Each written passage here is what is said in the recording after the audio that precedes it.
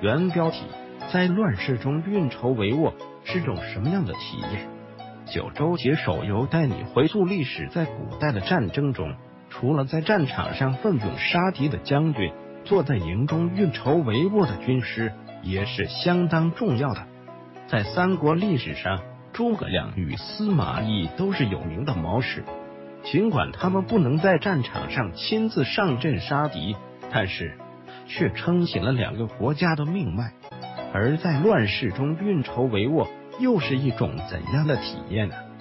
挥斥方遒，克敌千里之外。要说三国历史上最有代表性，同时也是意义最重大的战役，当属赤壁之战。而赤壁之战中，周瑜、诸葛亮起到了最为关键的作用。但这两人肯定不是两军阵前妖威妖的绝世武将。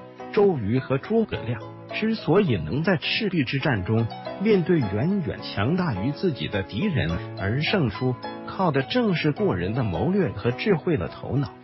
所以说，尽管两军交战时带军的武将十分重要，但是在军营中运筹帷幄的军师却绝对也是战争中必不可少的一环。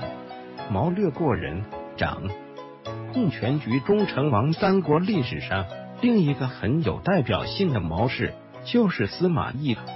尽管在历史上他与诸葛亮之间的正面对抗上，司马懿看起来都是略占下风的，但是他审时度势的性格和其深远的政治眼光，也使得司马氏最终夺得了整个三国最后的统治权。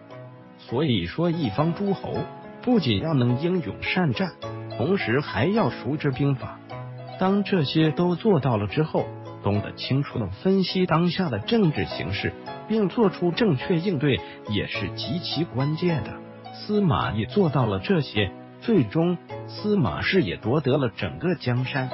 展开全文，乱世重塑，如何一统天下？每个历史迷。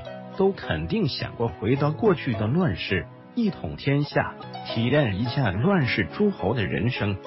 到九州解手游的世界中，就可以实现这个梦想。